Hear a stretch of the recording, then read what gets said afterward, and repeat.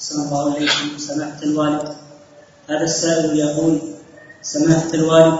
بعض الإعلاميين ممن يسمون أنفسهم تنويريين يصفون من يتمسك بالكتاب والسنة بفهم سلف الأمة بأنهم غلبيون وأنه لا بد من إعادة قراءة النصوص بحيث تواكب العصر.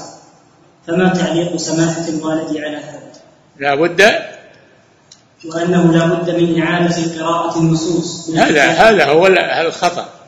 إعادة قراءة النصوص يعني يتركوا ما عليه السلف الصالح وما عليه الأمة الإسلامية اتركوها وابدأوا من جديد. هذا هو مقصوده.